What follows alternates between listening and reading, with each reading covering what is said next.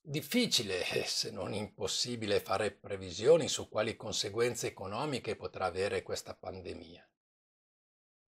La difficoltà dipende soprattutto dal fatto che la situazione è in continuo mutamento, cambia di minuto in minuto, anzi peggiora di minuto in minuto. Fino a un paio di giorni fa dico che avevo delle certezze, però insomma, diciamo delle convinzioni. Ciò che era accaduto prima a Wuhan e dopo a Codogno mi forniva quasi delle sicurezze. Sarebbe stata ancora una questione di giorni, una decina di giorni, forse due settimane, ma poi si sarebbe invertita la rotta.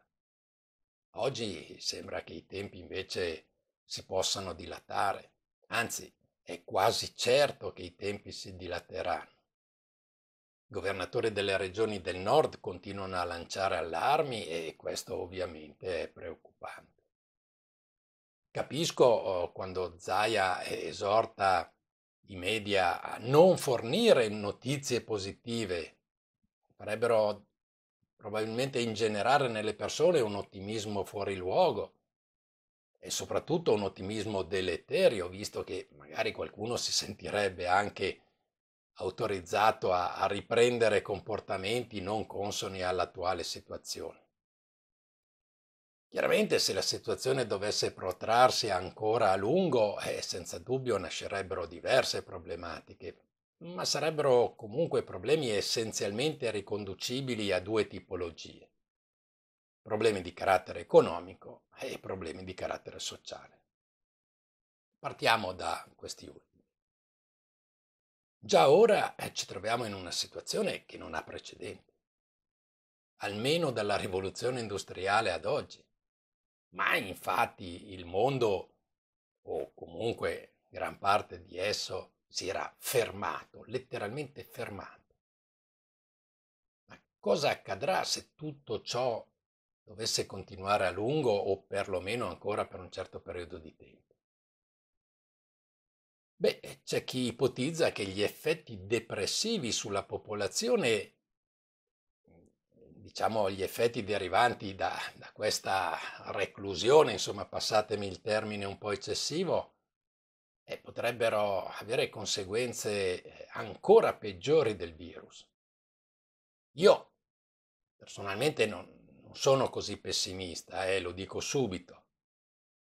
Però obiettivamente siamo in una situazione senza precedenti che quindi apre scenari che non possono essere prevedibili. Oggi risultano dei deterrenti le multe per coloro che non si attengono alle disposizioni governative. Ma se col passare del tempo e con l'acuirsi quindi dell'inquietudine da parte della popolazione le, le violazioni dovessero moltiplicarsi, e beh, attenzione perché le forze dell'ordine potrebbero trovarsi loro stesse in una situazione di stress. Naturalmente la paura più delle multe oggi porta gli italiani, dopo tutto, ad essere nigi alle disposizioni. E naturalmente eh, la paura potrebbe anche essere indotta e ampliata dai media. Eh, guardate, la colonna di camion militari che nella nottata hanno portato fuori dalla città di Bergamo diversi feretri chiaramente un'immagine scioccante. Ma i media, da questo punto di vista, potrebbero essere ancora più incisivi. Ad esempio, ne so, qualche telecamera potrebbe entrare in qualche reparto di terapia intensiva e riprendere immagini raccapriccianti. Insomma, dal punto di vista sociologico stiamo per vivere esperienze mai viste in precedenza. Oggi infatti ci dicono che pur nel rispetto della privacy possono monitorare attraverso i cellulari quanti di noi non si attengono alle disposizioni ed escono dalle mura domestiche. Ok, ci dicono che la privacy è rispettata perché si valutano gli spostamenti delle persone nel loro complesso, ma non eh, singolarmente. Sì, penso però sia avvenuto più di qualche dubbio anche a ciascuno di voi. Detto questo, voglio invece arrivare all'altra tipologia di problema che appunto comporta eh, questa, la situazione che stiamo vivendo e nella quale ovviamente ho anche maggiore competenza, ossia l'aspetto economico. Oggi i media ci riferiscono che la BCE avrebbe fatto dietrofront, insomma, annunciando un quantitative easing per 750 miliardi di euro. Certamente è un importo assolutamente ingente. Insomma. Ebbene, guardando alle borse europee, l'annuncio da parte della Lagarde ha avuto un effetto, sì, però diciamo non è stata una risposta euforica da parte dei mercati listini del vecchio continente hanno guadagnato insomma mediamente un paio di punti percentuali, visti i crolli dei giorni scorsi, insomma possiamo considerare questo guadagno odierno quasi frazionale. New York per il momento viaggia intorno alla parità. Purtroppo quindi devo constatare come, ahimè, come avevo previsto, che le banche centrali, per quanto continuino ad immettere eh, liquidità nel sistema, che poi alla fine è anche la sola cosa che sono in grado di fare, però non ottengono risultati apprezzabili. Dovrebbero intervenire i governi, ma attenzione. Seguite un po' questo circolo, poi vediamo alla fine se è virtuoso o se è un circolo vizioso. Cosa possono fare i governi per dare fiato all'economia? Eh, ovviamente l'unica cosa che possono fare è ridurre il carico fiscale. Diminuendo le entrate, eh, lo Stato però eh, si troverà in difficoltà perché comunque ha delle spese indifferibili. E ovviamente pagare le pensioni, gli stipendi a tutti i dipendenti pubblici, ma non solo, ovviamente, deve anche sovvenzionare tutti i dipendenti privati che si trovano in difficoltà proprio per la situazione che si è venuta a creare eh, con la pandemia. E quindi, eh, quindi lo Stato ha la necessità di indebitarsi ulteriormente per far fronte alle spese che ho definito indifferibili. Ed allora chi acquista i nuovi titoli dello Stato che eh, dovranno essere emessi? In altre parole, chi acquista il debito pubblico? Eh, la risposta anche qua è scontata, la banca centrale. E infatti la Lagarde ha annunciato questa manovra per 750 miliardi. Però c'è un problema. Ed ossia che tutto questo funzionerebbe se servisse ad aumentare la produzione, il PIL, insomma. L'aumento del PIL infatti farebbe incrementare le entrate dello Stato, visto che aumenterebbero le entrate tributarie, e allora questo circolo potrebbe rivelarsi virtuoso.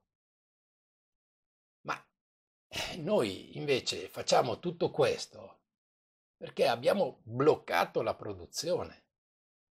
Ossia, coi, con i 750 miliardi della BCE non facciamo aumentare il PIL, non facciamo aumentare le entrate tributarie. E quindi che fine fanno questi 750 miliardi? Ammesso, perché non ho neanche la certezza, ma ammesso che quei denari arrivino alle famiglie. Ripeto, anche se ci credo poco. Comunque, non avrebbero che un effetto effimero, nemmeno un effetto placebo. Prima o poi finirebbero in inflazione. D'altronde, carissimi ascoltatori, l'economia, al contrario di quello che si crede, è una materia semplice. Penso che tutti noi siamo in grado di comprendere che se in un certo periodo non si produce nulla, o quasi insomma. Mentre, come logica vuole, nello stesso periodo il mondo consuma, perché eh beh, le persone perlomeno devono sopravvivere. Quindi, allora che conseguenze si ha? Eh, eh, Ossia che se non produciamo ma consumiamo e la conseguenza è che ci impoveriamo. Sarà brutto dirlo, è brutto dirlo, ma è così. E qual è la cosa peggiore per noi italiani? È che veniamo da anni nei quali ci siamo impoveriti. Ed ora, visto che in questi giorni tutti hanno preso eh, così dimestichezza con i grafici ed in particolare con le curve, Ebbene, così come la curva dei contagi, dei contagiati, insomma, eh, diventa simile alla curva dell'impoverimento. E cioè in questo periodo entrambe queste curve si impennano. Ripeto, non possiamo sentirci eh, confortati dal fatto che questo impoverimento riguarderà tutto il mondo. Perché per i paesi come la nostra Italia, che viene da anni di austerità, sarà ancora più dura. All'impoverimento non ci si fa l'abitudine. La nostra speranza è che questa esperienza insegni che anche agli altri paesi europei che, che l'Unione Europea, anziché un acceleratore, è un freno. E andare in salita con i freni tirati è proprio una cosa insensata.